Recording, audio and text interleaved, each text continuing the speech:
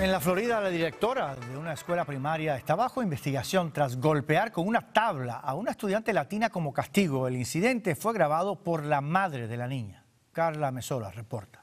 No, put your hands down. No, no, no, no.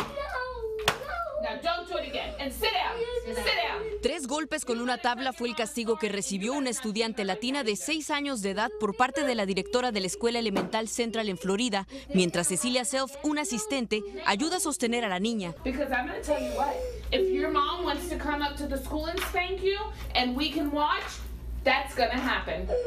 El incidente ocurrido el 13 de abril fue grabado por la propia madre quien escondió el celular en su bolso. La escuela la habría llamado para pagar 50 dólares luego de que supuestamente la niña dañara una computadora, según dijo el abogado que representa a la familia. En ese momento la mamá se puso muy asustada. También era indocumentada.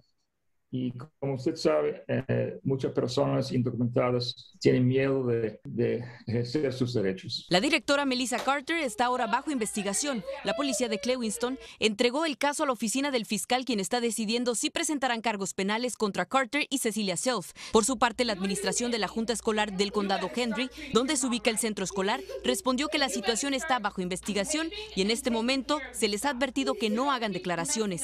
Padres de familia reaccionaron a las imágenes. Me parece que no tiene ninguna razón para hacer algo así, jamás. Florida es uno de los 19 estados donde el castigo corporal es legal en algunas escuelas mientras no resulte en un daño real. Sin embargo, en este distrito escolar donde sucedió, las políticas no lo permiten. La directora fue suspendida y la niña trasladada a otro colegio.